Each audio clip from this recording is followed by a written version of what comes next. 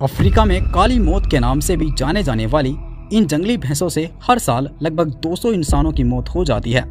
अगर आपका सामना कभी इन भैंसों से होता है तो कुछ तरीके हैं जिनसे आप इनसे बच सकते हो। सबसे पहली बात तो आपको घबराना नहीं है। अगर कोई जंगली भैंसा आपके पीछे पड़ जाता है तो आपको सीधा ना दौड़कर चिक चेक तरीके से दौड़ना है। हो सके तो किसी पेड़ पर चढ़ जाए या फिर किसी ऊँची चट्टान पर चले जाए, जहाँ पर जंगली भैंसा ना चढ़ सके।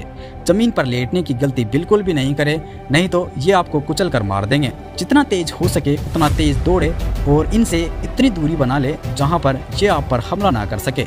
अगर फिर भी जंगली भैंसा आपके बिल्कुल करीब आ जाता है तो आपको उसके सींग पकड़कर उसके ऊपर चढ़ने की कोशिश करनी चाहिए। अगर आप नीचे रहते हो तो आप किसी भी वक्त कुचले जा सकते हो।